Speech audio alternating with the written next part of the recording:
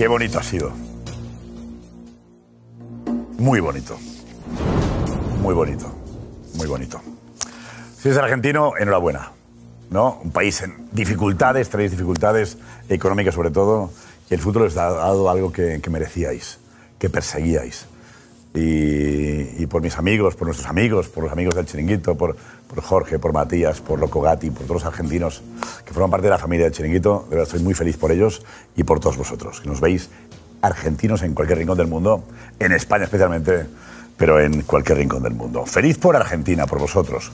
Feliz por Leo Messi, porque es el colofón a una carrera maravillosa. Es el que nadie le puede decir que es menos que Maradona. Que nadie en su país le pueda decir a Messi que es menos que Maradona. Aunque el debate sobre el mejor de la historia seguirá año tras año durante mucho tiempo. ¿no? Luego por la humildad de un seleccionador. Por la humildad de Scaloni. Porque así es un ganador. Así se comporta un campeón, como Scaloni. Siempre un paso atrás. Siempre los focos para los futbolistas. El mérito suyo. Me gusta eso de Scaloni. Además porque es y fue compañero del chiringuito Scaloni. Un abrazo para él también. ¿no? Eh, también porque ha sido la mejor final de un mundial de fútbol. Y eso reconforta. Sí, reconforta.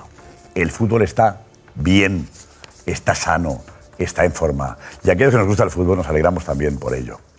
Eh, Y otra cosa, un gran Messi y un gran Mbappé.